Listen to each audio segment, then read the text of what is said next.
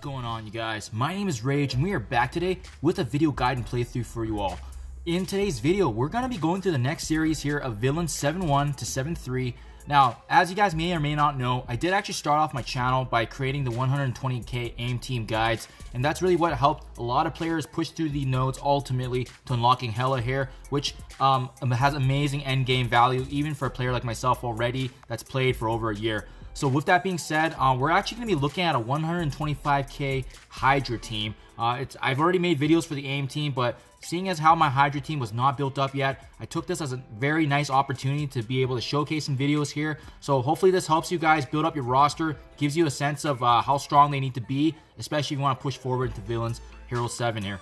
Uh, so with that being said, uh, let's go ahead and talk about Red Skull here. He is going to be the core piece of this team. As you can see here, he is quite built. I got him at 41k, but he's going to be the main leader because it's really Red Skull that's going to be ultimately allowing his team to revive and come back thanks to his charges. Um, so as you can see, I don't have any T4s on his abilities, but I did have the ISO 8 healer there just to provide sustainable, sustainable healing and support for his fellow Hydra minions.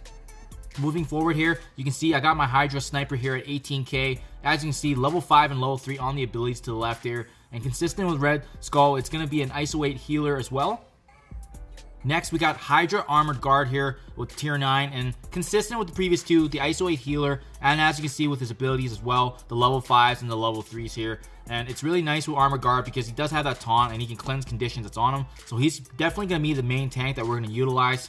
Um, Hydra Rifle Trooper. Now, I would say this character is probably one of the key pieces to this team due to the fact that whenever he does actually die, he actually does have this passive where he comes back on revive and he does actually deal uh, additional damage upon his revival. And his revival is going to be thanks again to Red Skull, so that's where we're really going to try to take advantage here for that extra damage. You can see he's built a little stronger too, the tier 10, and consistent with the previous guys, we do have the ISO 8 level 1 healer as well, just to give that sustainability and additional healing. And last but not least, it is going to be Hydra Scientist here at 22k. Uh, got him built up over time just due to the 6 yellow that you see, but consistent with the previous minions, no T4s. You can see we've only leveled up to level 5 here on the left here, and the level 3 for the passive. With that being said, you guys, let's dive right into the gameplay for Node 7-3.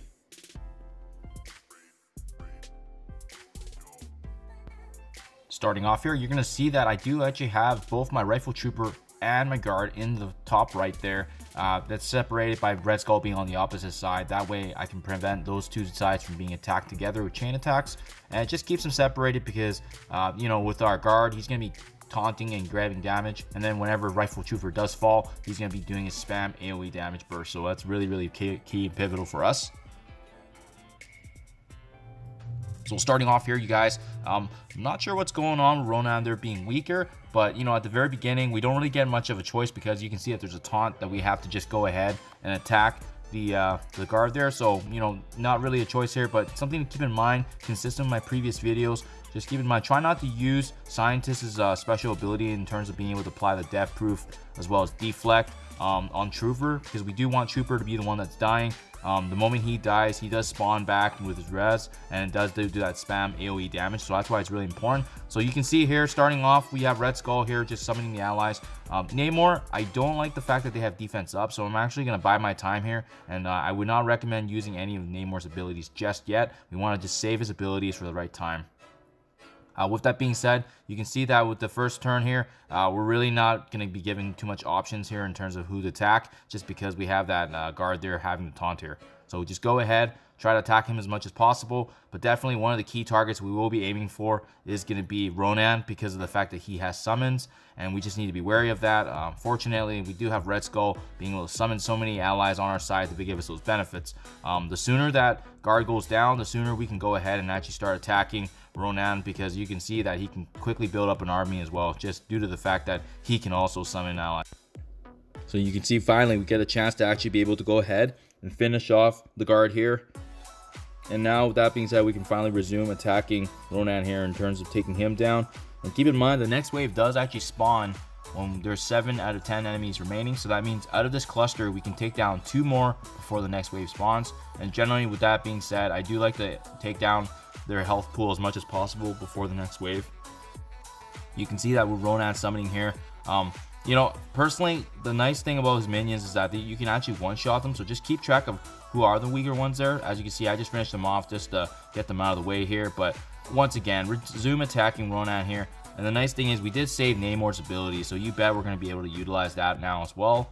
Um, and Red Skull's ultimate is very powerful, so if you don't want to use it and you want to save it for next wave, go ahead. I actually use it because I just do I do want to aim for Noble and just take out as much as I can of her, especially with her being able to cleanse. Um, I just figured that it would be great to deal a significant amount of damage for her, especially if I don't want her going forward into the next wave.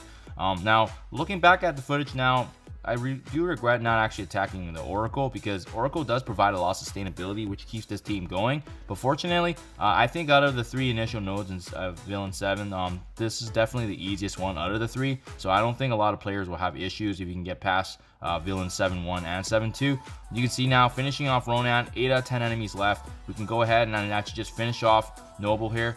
And we do that, it should actually spawn the next wave here. So just be wary of that.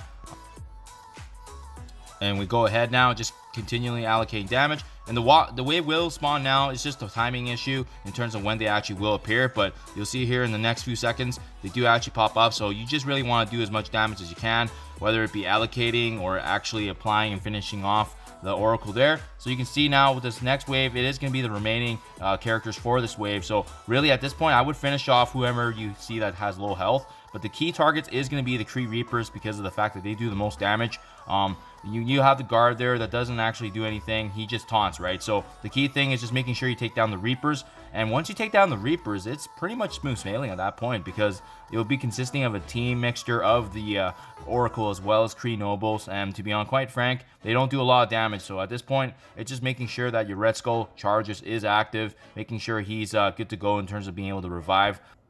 And really, I, I you know, you don't need to necessarily three-star this uh, in order to push forward, but it is nice just to get the three-star unlocked so that way you don't have to go back later. But definitely very possible. I think uh, I think this is definitely the Hydra synergy with Red Skull is definitely easier than the way I attempted before in my originally my videos with the 120k AIM team. Um, just due to the fact that you just get so many second chances of them being able to be revived thanks once again to, to uh, Red Skull as well as his Hydra synergy. So at this point now, um, we are just going to go ahead and just continue rampaging here and finishing off Reaper. And once he's down, honestly, at this point, it's just coasting through and just finishing off everyone else who targeted damage. So uh, the nice thing about these guys is that, you know, although they have the similar combat power to us, they actually do have less HP and health. And they do seem quite squishy, as you can see. You just really need to be able to kind of focus on all your attacks. And fortunately, like I said, uh, with Red Skull being on our team, he just provides, provides some amazing support benefits for roster, as well as the Hydra synergy in terms of them being able to be revived over and over again, especially if Red Skull has those charges uh, built up on his uh, on his character. So there you guys have it. We're gonna go ahead finish off Noble here, but that is the three star unlock once again. We barely even had to use Namor. Um, so as always, you guys do appreciate you checking on my channel, uh, checking out these videos. Hope this was able to provide another perspective for you guys, especially with you newer players out there trying to push forward into unlocking Hela. So thank you as always for watching, and I'll see you in the next one.